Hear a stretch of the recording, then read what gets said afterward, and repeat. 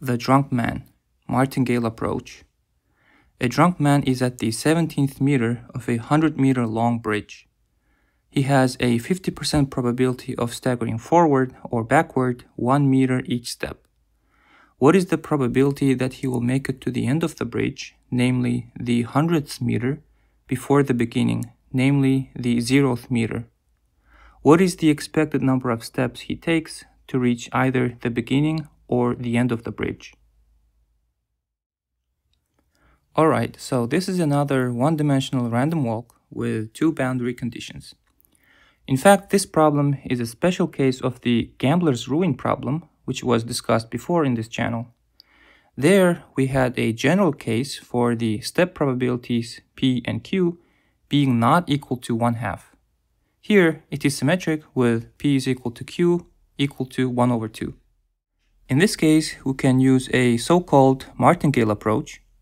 So let me give a very brief introduction to martingales.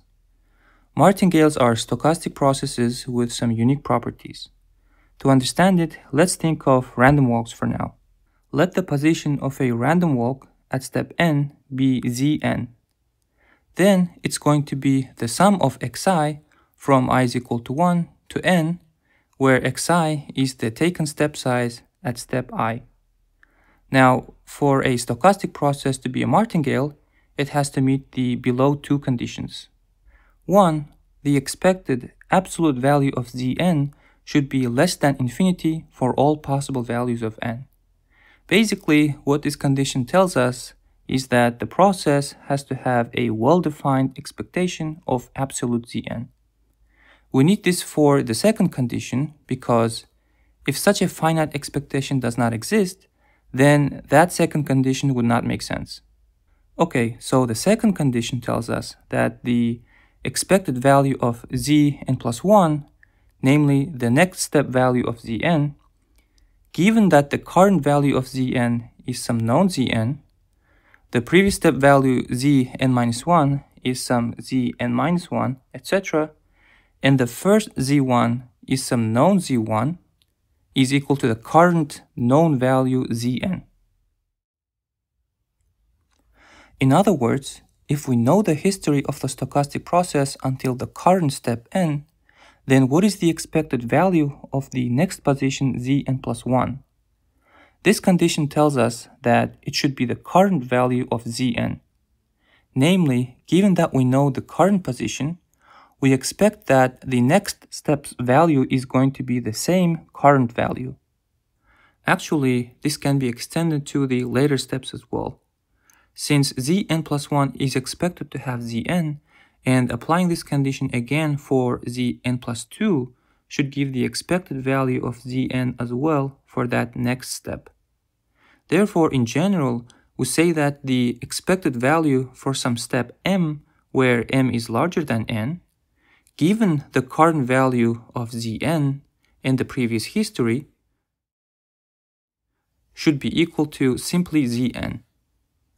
At first glance, it might seem like this is just a Markov process.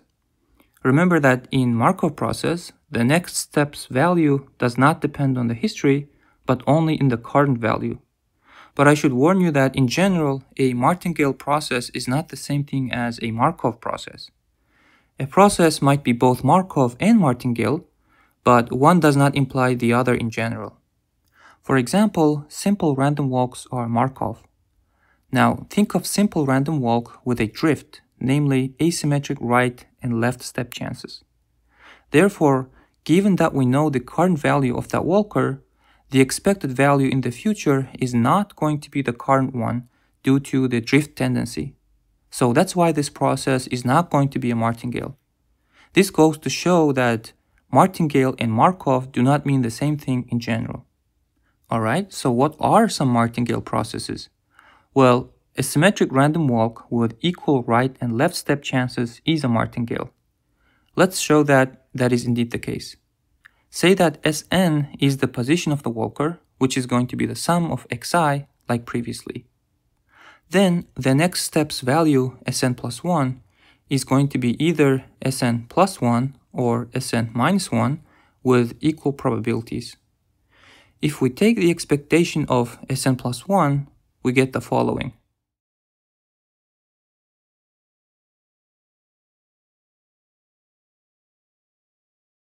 which is equal to Sn. So the expected value of Sn plus 1, given that we know that it is currently at Sn, is equal to the current value Sn. And this is exactly what we wrote as the second condition for martingales, so we can say that a symmetric random walk is a martingale. There is another martingale process in the framework of symmetric random walks. And it's the process of Sn squared minus n, where n is the step number. It turns out that this is a useful martingale for many problems. Let's again show that this is a martingale. Once again, we look at the expected value of the next step in the process, like in the previous case.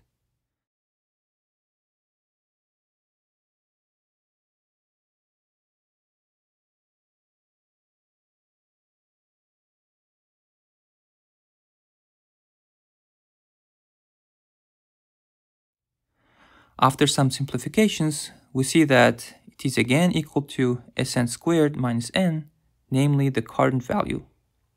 Therefore, we can again say that Sn squared minus n is a martingale.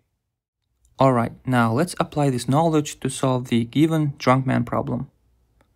Let this line indicate the bridge where this left red dot is the start and the right red dot is the end. The man starts at the 17th meter, but let me shift my axis such that his starting position is 0.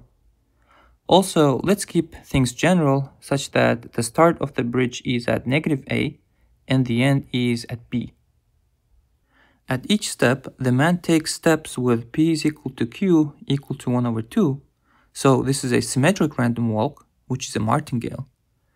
Let's denote the walker's position as Sn, which is the sum of xi from i is equal to 1 to n.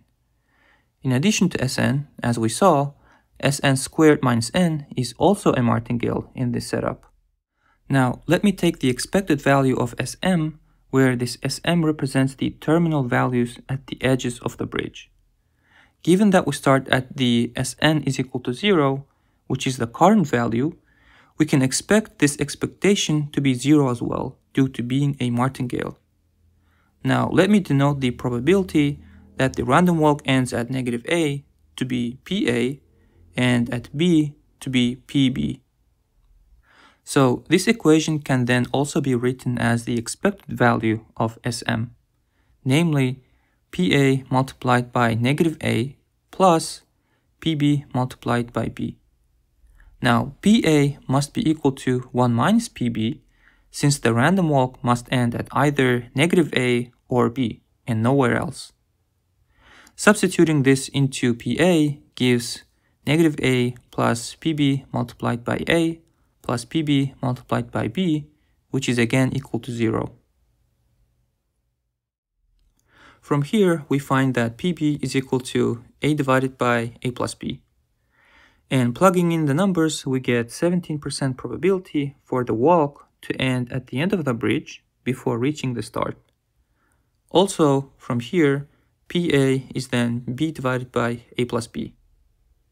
Note that the index m, namely the terminal step number, is different for when s is equal to a and s is equal to b in general. The above equation doesn't care about this though, as we are simply writing the expected value of the terminal distances. Alright, now how do we find the expected number of steps until termination? It turns out that this Sn squared minus n martingale is useful here, as you can guess from the existence of explicit n in here. Let's again write the expected terminal values for this process. We are given that the initial Sn squared and the initial step number are both 0, so this expectation must be equal to 0 due to being a martingale. But we can also write the expectation of the terminal values explicitly. First, use the linearity of expectation.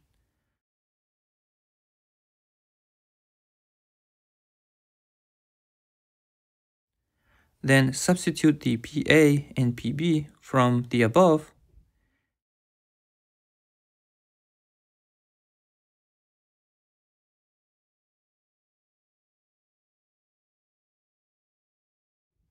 and this gives the expected number of steps at the termination either start or end, to be A times B.